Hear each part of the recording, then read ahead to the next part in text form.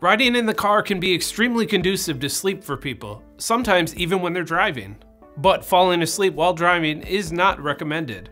However, in Volkswagen's new autonomous self-driving prototype, there's no driving necessary, and the vehicle actually is designed to help you nod off. The company's recently unveiled prototype, Gen Travel, is less like a car you drive and more like an airplane that stays on the ground and doesn't need a pilot.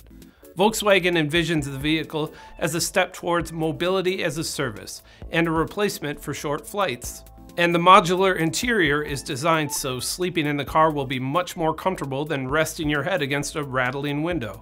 The Gen Travel has an interior concept that can be customized to overnight settings that include two fully reclining seats. The vehicle even includes a passenger restraint system to keep you safe even while lying down, and a lighting system that influences melatonin production to help passengers fall asleep and wake up naturally. Basically, it's a four-wheeled version of those gummies I eat before bedtime. The Gen Travel isn't just for moving sleeping people around though.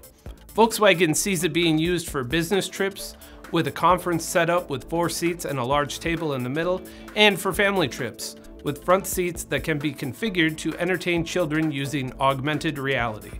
In case the thought of doing a lot of stuff other than driving in a moving vehicle makes you feel a little queasy, Volkswagen promises that the prototype's dynamic lighting will help minimize the effects of motion sickness. GenTravel also includes a technology called Electric Active Body Control that calculates actions like acceleration, braking, and cornering before they happen and adjusts the driving style and trajectory accordingly.